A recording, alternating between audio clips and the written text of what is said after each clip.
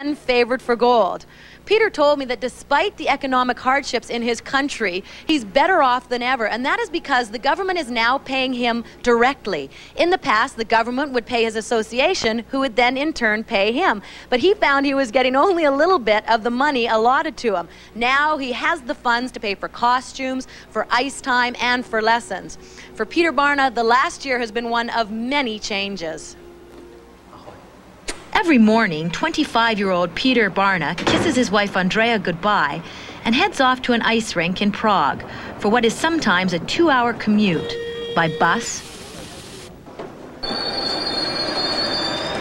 and subway and trolley. Life as an athlete in communist Czechoslovakia meant intense pressure to win a medal or else. When Peter failed to do that at the Calgary Olympics, he was sent home in disgrace by Czechoslovak officials. So they get me in the plane at six o'clock in the morning, and I went home, so I didn't see any of Olympics.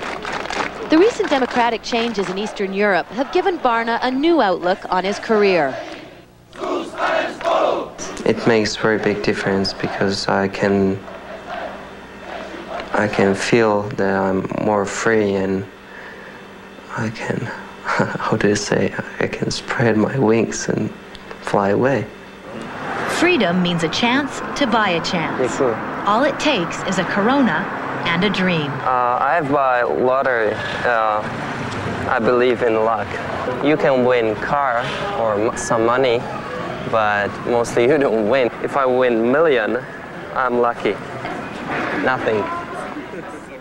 Peter and his wife are expecting their first child, and so Europe's number one figure skater is hoping to turn pro later this year.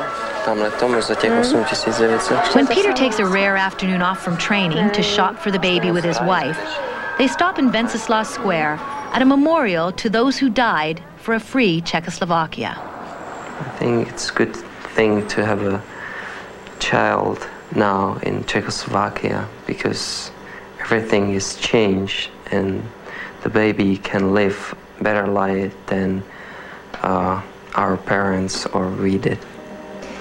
But when night falls, Peter is right back at the rink, working on those jumps, and perhaps for those wings with which to fly. I want to finish my career with the medal. This is one of my dreams. If I do it good, it will be good memories for my life. If not, what can I do? Life goes on. It will be on this ice in this rink